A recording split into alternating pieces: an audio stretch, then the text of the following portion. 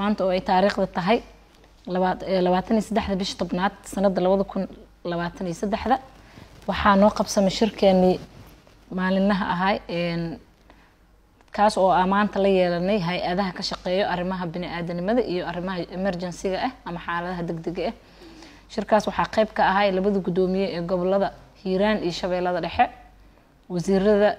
uu magacaabay madaxweynaha ee guddiga fatahaadaha liino runtii shirkan wax badana lagu lafaguray maadaama ay jiraan curashada roobabkii la filayay saameynna ay ku yeesheen meelaha qaar oo ka tirsan stateka hirshabeelle. Waxaa laysla gartay in wixii emergency response ah laga sameeyo. Walow meelaha qaarba hadda ay laga wado shaqooyin aada u badan. Runtiina waa ku ammaanaya hay'adaha iyo maamulada labada gobol iyo iyo guddiga shaqooyinka aadka u qiimaha badnaa ee ka qabteen muddadii maalmaha ahayd ee jirtay daadadkii soo rogmaday ee saameeyey magaalooyinka beledweyne iyo mahadaay wuxuu isla gartay guddiga in waxyaabihii shirka ka soo baxay. Waxaa ka mid ah in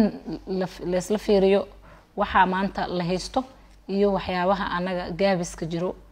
si looga ambaqaado baahidii jirtay in la dhammaystiro. Runtiina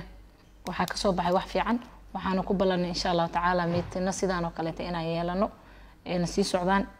waa mahadsantihiin sidoo kale wasiirka wasaaradda gargaarka iyo maareynta masiibooyinka xukuumadda hirshabelle ahna guddoomiyaha guddiga gurmadka ee fatahaadaha dowlad goboleedka hirshabelle waxa ay ka warbixisay khasaaraha ka dhashay rababkii maalmihii aynu soo dhaafnay ka da'ayay deegaanada dowlad goboleedka hirshabelle daadadkii ku dhiftay magaalada beledweyne soo far hadda dadkii inta badan maamulkii iyo waxaa u gurmaday hay'adihii runtiina waxaa la gaarsiiyey markaas wixii ayaga u ahaay muhiim. Laakiin insha allahu tacaala gargaaro badan oo aan sugayno ilahay idankiis in ayagana ay gaaraan rajeyneynaa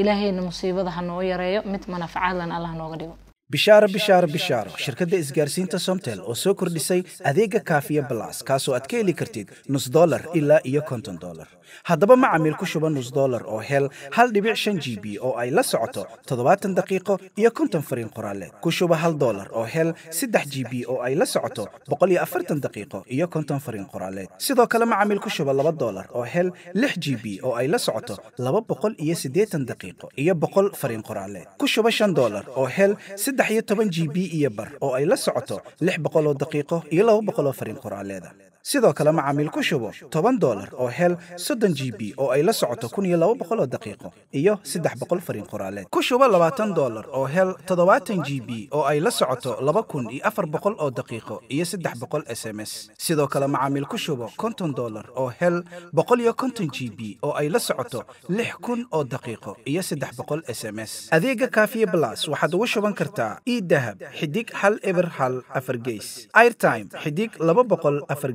geys reseller xidig